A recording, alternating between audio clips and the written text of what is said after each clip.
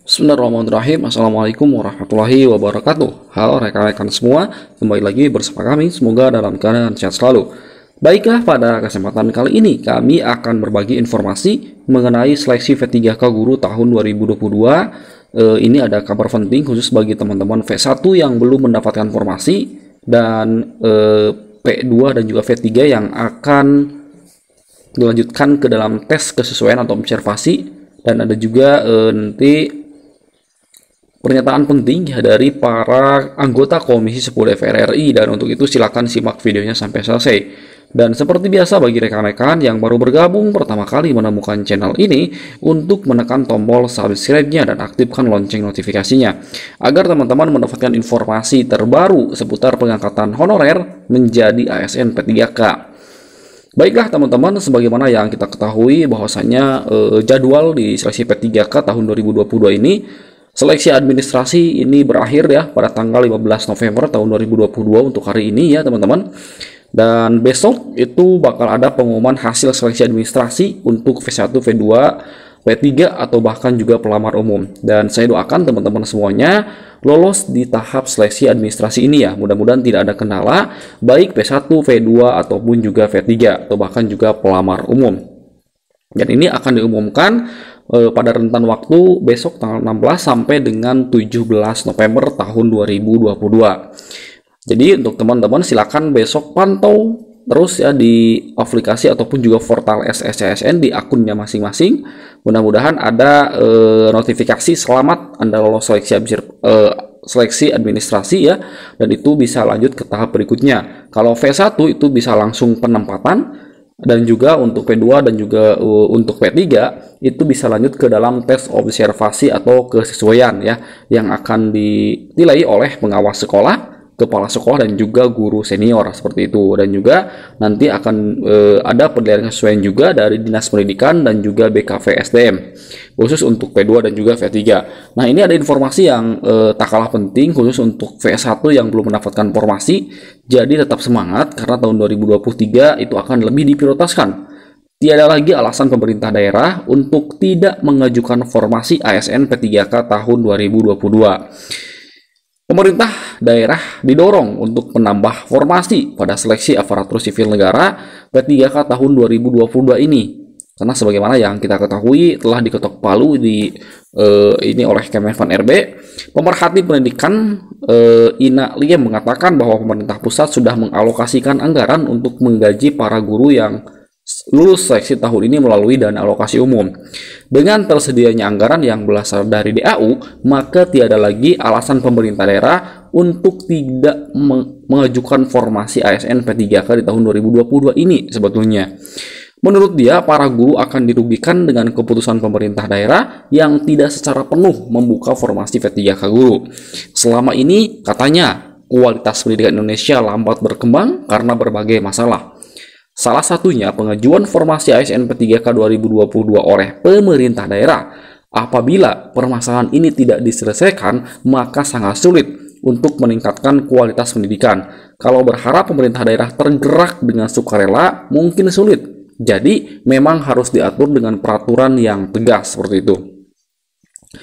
Data Kemendikbudristek menyebutkan kebutuhan formasi tahun 2022 itu mencapai 781.844 ya.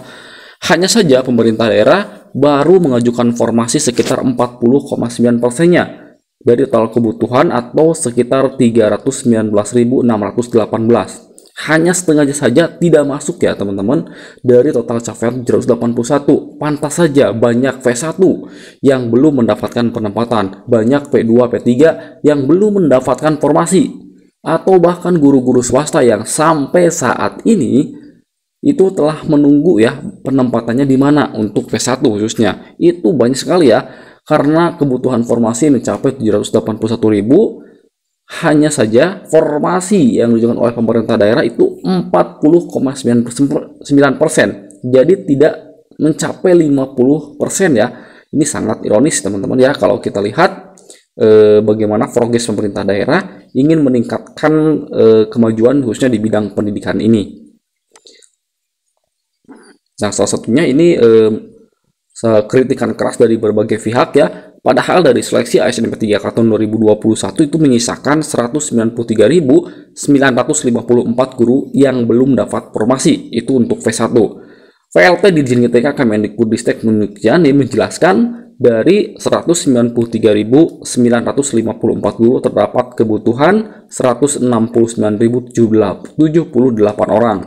Berdasarkan perhitungan kami, mereka dibutuhkan dari 169.078 guru Sebanyak 127.186 orang ini sudah tersedia formasi dan penempatannya. Jadi ini sudah aman. Nah, mudah-mudahan teman-teman termasuk ke dalam 127.186 V1 yang sudah aman dan saya yakin jamin akan diangkat.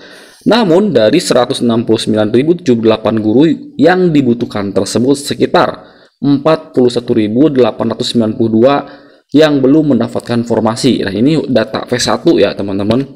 Kondisi tersebut berpotensi memicu kekosongan guru di sekolah-sekolah. Menurut Nunuk, permasalahan tersebut dapat diselesaikan jika pemerintah daerah membuka formasi untuk seleksi tahun ini. Sebenarnya ini potensi dapat penempatan jika Pemda buka sesuai dengan kebutuhan. Sebagai contoh, Kabupaten Brebes, Jawa Tengah memiliki pelamar V1 sebanyak 587 guru. Namun kalau kita lihat ya untuk Kabupaten Brebes Jawa Tengah ini semuanya ya awalnya ketersediaan formasi di Kabupaten Brebes mencapai 538. Namun pada tanggal 2 November pemerintah Kabupaten Brebes membatalkan usulan formasi tersebut. Dengan demikian 538 P1 kehilangan kesempatan untuk menjadi ASN P3K. Namun di akhir ini alhamdulillah ya Kabupaten Brebes juga e, merubahnya untuk menerima formasi 538 tersebut. Alhasil, alhamdulillah ya, guru di Kabupaten Brebes yang termasuk ke dalam V1 itu bisa terangkat semuanya. Persoalan ini ada di daerah yang harus diselesaikan oleh pemerintah daerah tentunya. Jadi perlu endorsement daerah untuk tambah formasi karena dari pusat sudah ada kebutuhannya. Nah, ini ya yang e, memunculkan beberapa e, permasalahan khususnya antara pemerintah pusat dan juga daerah. Intinya saling koordinasi itu sangat kurang ya kalau kita lihat. Nah, seperti yang dikemukakan oleh pernyataan beberapa anggota Komisi 10 DPR RI eh, yang pada saat rapat kemarin itu eh, mengkritik keras ya kinerja Mas Nadiem Makarim. Nah, untuk itu silakan teman-teman bisa simak videonya ya. Pernyataan-pernyataan atau solusi yang diberikan oleh anggota Komisi 10 DPR RI. Teman-teman selamat menyaksikan.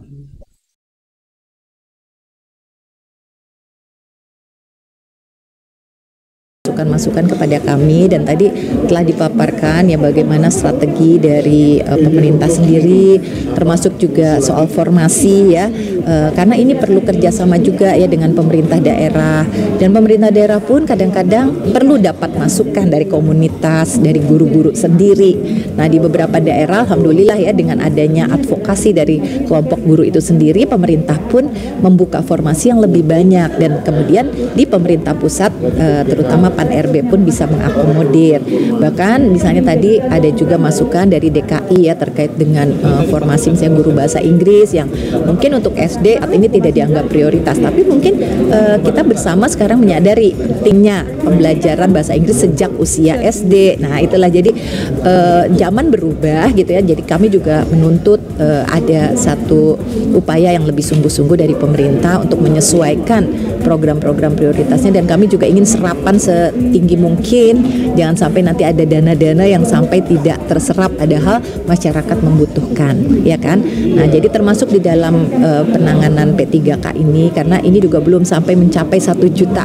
Jadi memang masih harus terus dilakukan.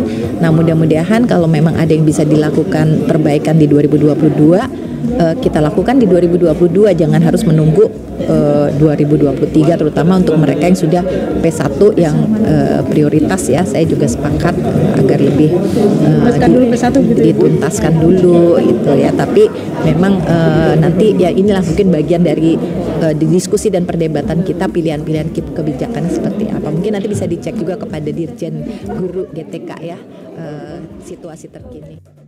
Dan hal tersebut tentu uh, kita makin bisa melihat bahwa terkait dengan pengangkatan satu juta P3K ini pemerintah tidak memiliki perencanaan yang matang.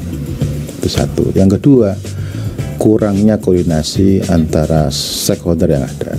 Karena penerimaan P3K ini kan melibatkan beberapa kementerian. Ada Kementerian Pendidikan dan Kebudayaan, ada Kementerian Pan RB, Kementerian Dalam Negeri, kemudian Kementerian Keuangan. Nah, kelihatannya dari situasi yang makin hari makin ruwet, nah, ini berarti memang tidak ada visi yang sama dalam konteks bagaimana memberikan solusi terkait dengan pengangkatan P3K yang sampai hari ini eh, masih belum kelihatan solusi yang paling efektif itu apa. Makanya menurut saya kuncinya tadi problem hulunya diselesaikan dulu. Ya, jadi bagaimana kemudian kota disesuai eh, itu sesuai dengan jumlah formasi. Nah, formasi yang diusulkan itu harus sama dengan kuota. Nah, di samping kemudian juga anggaran yang dibutuhkan ini juga harus disiapkan betul oleh pemerintah pusat. Karena kan mandatori, 20% itu kan mandatori. Kita punya 670 triliun loh untuk dana pendidikan. Masa hanya membayar per tahun kurang lebih 21 triliun itu nggak dianggarkan. Padahal kan menurut kita pendidikan itu adalah investasi SDM. Nah itu kalau nggak kita investasikan sekarang maka bisa kita yakini 5-10 tahun yang akan datang SDM kita indeksnya pasti akan turun.